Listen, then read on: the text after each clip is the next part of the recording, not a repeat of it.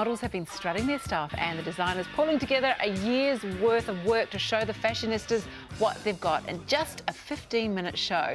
That's right, it is New Zealand Fashion Week and here to tell us all about it is event manager Janey Evett. Welcome to the cafe. Thank you. Very happy to be here. So it's been going for 15 years, hasn't it, New Zealand Fashion Week, but slightly different team this year? Slightly different. Um, Pieter obviously has been there from day one and um, really the backbone to it. So she's still very much involved. But we do have um, a few new team members this year. So exciting to see what everyone kind of brings to the table. So yeah. it just must be a huge event to try and put on. You must be frantic. This must be a little calm in the storm. It is. This is a very lovely break. Um, very lots have going on. Some more coffee. Just have some more coffee to get through the day. Are there, are there, any newcomers that we should be really getting excited? Oh, we've got all the old favourites first. Let's talk about them first. Who yeah. is going to be showing?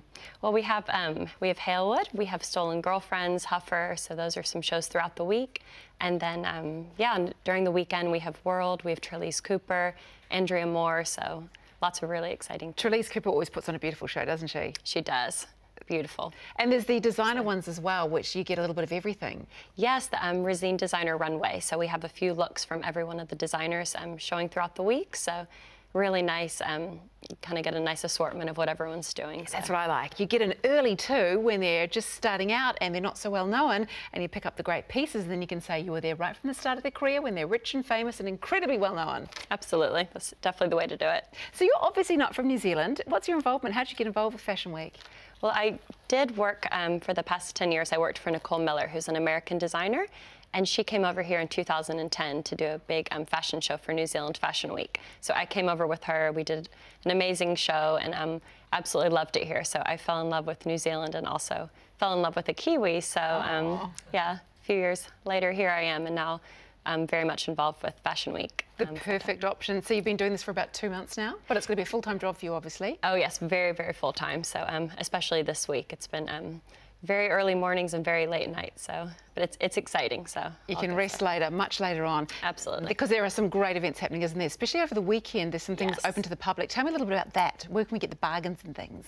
Yes, this weekend's very, very exciting. We have um, the designer pop-up sale. So we have um, amazing designers this year. So we have people such as Superette, Tiger Lily, Sass & Bide. We have, they're all coming on board. So they're going to have um, amazing pieces for um, great deals. And you know, everyone likes to get a great score. So um, yeah, great time to come in. You can come in at 9 a.m. if you have a VIP ticket. Um, get in first. Otherwise, 10 a.m. The doors open and. And what does it look like? Is it people like wrestling over jeans like you see in movies? I hope so, because that'll definitely make for some very entertaining, very entertaining afternoons. So. It'll be really entertaining for you. Oh, uh, yeah, not so much for no me doubt. when I'm on the other end of those no. jeans trying to get them off somebody.